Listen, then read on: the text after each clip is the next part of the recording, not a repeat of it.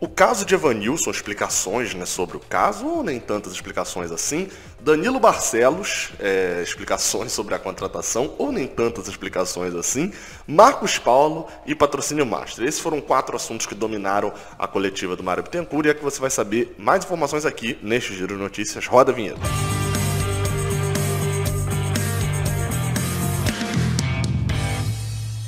Seja bem-vindo, você guerreiro, você guerreira de todo o Brasil, de todo mundo. Aqui é o canal Raiz Tricolor. Eu sou Gabriel Amaral, eu sou jornalista e sou também tricolor. Deixe o seu like aqui embaixo, se inscreva aqui no canal e passe na OneFootball, aplicativo de futebol presente em mais de 180 países, o aplicativo de futebol mais baixado no mundo e que você precisa conhecer. O link para baixar o aplicativo OneFootball vai estar aqui na descrição. Baixa lá, dá aquela moral pro Raiz Tricolor, pra gente aumentar aqui ainda mais os investimentos no Raiz Tricolor. Ainda não estou gravando no meu estúdio, que está ficando pronto já já, mas a gente está investindo bastante aqui e, claro, também para você ter um aplicativo ótimo no seu celular, beleza? Vamos falar sobre a coletiva de Mário Bittencourt, que deu uma coletiva, entre aspas, surpresa nesta quinta-feira, eu não vi sendo anunciada. Mas, nesta quinta-feira, ele deu essa coletiva e foi perguntado sobre alguns assuntos. Foi uma coletiva, olha só, vejam só vocês, pequena, que coisa, hein? Quem duvidaria que seria, mas ele falou bastante coisa. Primeira pergunta, primeiro tópico que a gente vai falar é sobre o caso Evanilson. Mário Bittencourt, é, ele até fala, explica toda a situação, de que aconteceu na temporada passada. Vale você ir lá ver a coletiva, porque aqui eu estou comentando. Eu não tenho como trazer todas, tudo que ele falou, senão o vídeo fica repetitivo. Mas, basicamente, em síntese, ele fala algo correto. Vamos aqui, vamos na análise junto comigo. Vem comigo, não tira suas conclusões antes não. Vem cá. Tudo que ele fala é correto. Ele assume em junho, né, junho, julho de 2019, o jogador já estava na reta final do contrato. Isso é correto. A gestão anterior não tinha avaliado Evanilson como um grande potencial a ponto de ir lá negociar uma renovação com ele uh, antes de 2019, antes de trocar a gestão. Correto também, né? não negociaram. Ele tinha pouco a fazer, já que Evanilson já estava se destacando no Brasileirão Sub-20 e o desejo do jogador era, obviamente, sempre ter um contrato melhor e etc. E, e renovar naquele momento seria algo complicado, porque ele tinha grande destaque. Ok, ele tem essa desculpa toda. Nesse caso específico, o Mário Bittencourt, de fato, ele assume em junho. Em julho, ele já começa a, a tentar agir essa renovação e que depois a gente sabe no que descandeia. Porém, ele fala agente o tempo todo. Mas no agente, ele está incluindo ele e Paulo Angione. E Paulo Angione, não sei se vocês sabem, mas não chegou junto com Mário Bittencourt. Paulo Angione é contratado do Fluminense para fazer a mesma função que ele faz hoje desde junho de 2018. Ele é o responsável por montar o elenco de 2019, nem estou considerando muito nada de 2018 não, mas o de 2019 e de 2020. E ele já estava lá desde junho de 2018 e não tinha visto potencial em Evanilson. O principal culpado com essa fala de Mário Bittencourt, claramente, pelo caso Evanilson, é Paulo Angione, que não identificou e dependeu do Mário chegar para poder identificar o jogador e negociar uma renovação.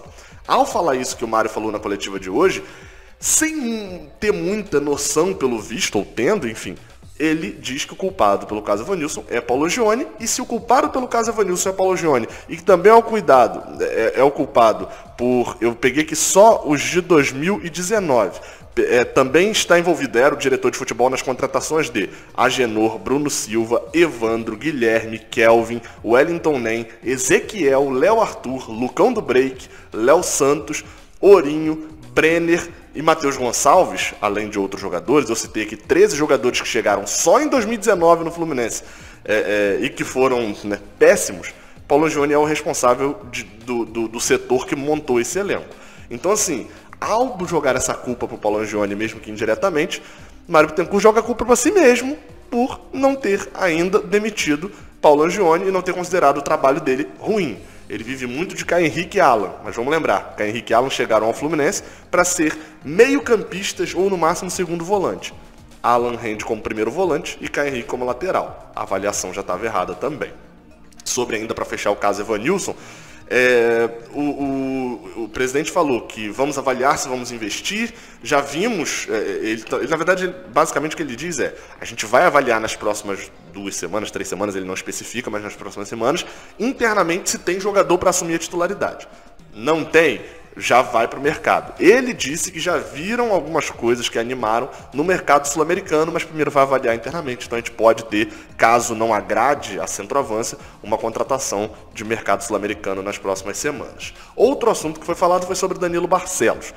É, Mário Bittencourt explicou que o contrato de dois anos e meio, que era grande confusão, né? Primeiro, né? Vamos lá. Ele explicou que quem insistiu, insistiu na contratação foi o Daí Helma. Então, beleza. Né? Se, se não foi o Daí Helma, ele que se defenda. Não sou eu que vou ficar julgando se ele jogou culpa para um ou para outro. Se, se não foi o Daí Helma que indicou, o Daí Helma que se defenda. Ele disse que foi o Daí, o Daí não falou nada até agora. Então, o Daí Helma indicou.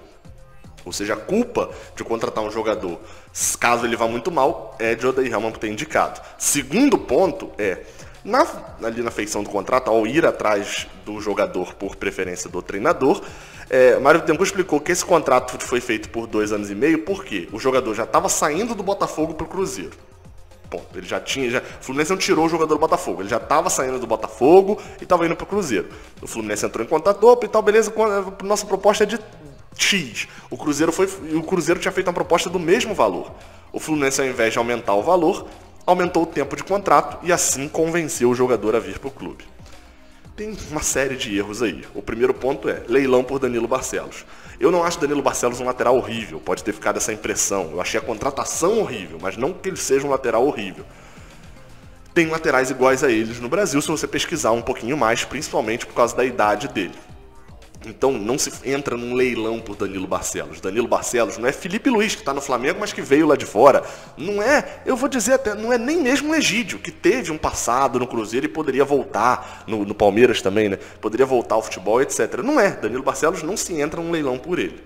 Segundo ponto é, ao entrar no leilão, ao, porque um treina, o treinador pediu o jogador, o Fluminense, aí na pessoa do Mário Bittencourt, ou do Paulo Angione, mas que é funcionário gerido pelo Mário Bittencourt, então a culpa vai para quem gere também, faz um contrato de dois anos e meio pelo jogador. Ou seja, até o final de Danilo Barcelos, é, do, do, contrato dele, o Daí Helman teria três anos de contrato com o Fluminense, já que ele assumiu no início do ano. Sabe quantos treinadores ficaram três anos no Fluminense?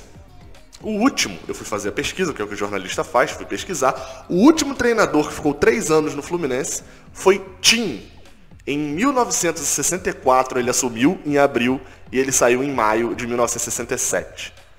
Em 1967, na década de 60, foi o último treinador que ficou esse tempo todo. Ou seja, a gente pode dizer tranquilamente que o Fluminense, ao trazer um jogador que o treinador pediu, deu a ele um contrato muito maior do que provavelmente esse treinador ficará no Fluminense, tendo sucesso ou não. Porque vamos considerar aí que no Brasil, três anos, até se você tiver muito sucesso, você vai embora, né? Você assume o Fábio Carilli no, ou o Jorge Jesus, treinadores que foram lá para fora.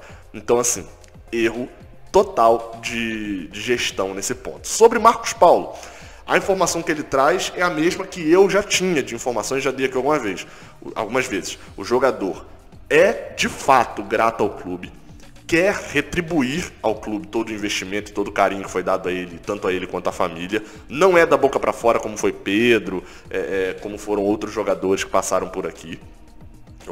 É, de que quer dar e etc. Mas na primeira, o Scarpa, por exemplo, na primeira oportunidade arruma um jeito de sair. Não, não me parece ser esse tipo e a informação que eu tenho, que ele falou agora dessa vez, é a mesma informação. Porém, é um jogador profissional. E assim, a impressão que deu pela fala dele, já que ele fala, ele já tinha falado que se não renovasse, se não viesse uma proposta da Europa boa, ele ficaria no Brasil e, e renovaria com o Fluminense. Agora já é qualquer proposta da Europa. Se não vier uma proposta da Europa, ele vai ficar e vai renovar com o Fluminense. Ao que me parece, só vai renovar lá por dezembro mesmo, aí estende um pouquinho o contrato, porque essas propostas não vão vir, dificilmente vão vir é, após o final de setembro, por exemplo. E se não chegaram até agora, ou vai ser uma proposta que vai ser muito baixa, ou então vai ser uma proposta que não vai acontecer e ele deve renovar por alguma coisa. Então, assim, sobre Marcos Paulo, a hora de renovar com Marcos Paulo era agora, que ele está em baixa. Porque não se renova com o jogador quando ele está em alta, se renova quando ele está em baixa e você acredita no potencial dele. Tem isso, a gente acredita. Eu, pelo menos, acredito no potencial do Marcos Paulo e acho que ele, o normal dele não é esse. A fase dele está abaixo do futebol dele. Então a hora de você renovar e meter um contrato de três anos é agora, que aí, se ele estoura, você tem poder de barganha numa hora de uma venda. Para fechar sobre patrocínio master, é, para quem de repente não viu a coletiva, o que Mário Bittencourt falou sobre patrocínio master foi o seguinte: ele disse que uma empresa que tá fechando a manga. Ele falou aquele coisa que ele sempre fala, que eu falo aqui há dois anos já.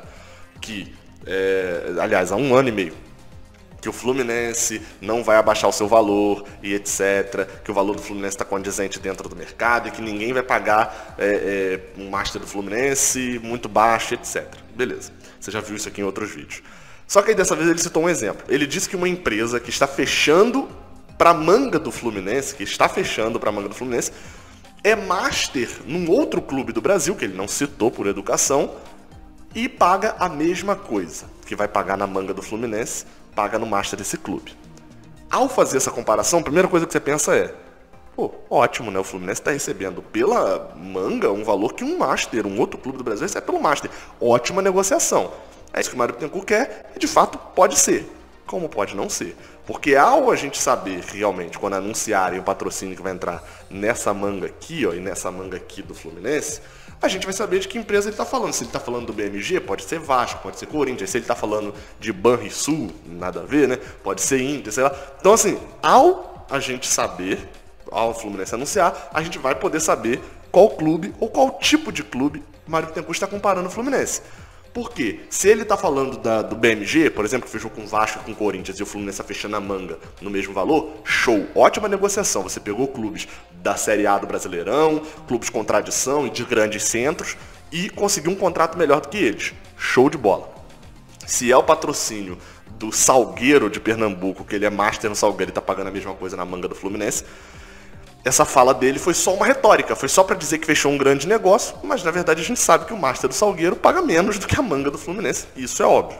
Então a gente precisa é, saber com que times o, o, Fluminense está sendo comparado, no caso de Mário Bittencourt. Bem, dito isso, aviso que ainda nesta terça-feira eu vou publicar um vídeo aqui da minha participação. Participei numa TV portuguesa, TV SIC Notícias, uma das maiores lá de Portugal, é, falando sobre Evanilson, sobre a venda de Evanilson para o Porto. Eu vou publicar aqui, consegui gravar e recortar o trecho, vou publicar aqui ainda nesta terça-feira. Beleza? Saudações tricolores, até a próxima. Um cachorro latindo pra caramba, hein? Valeu!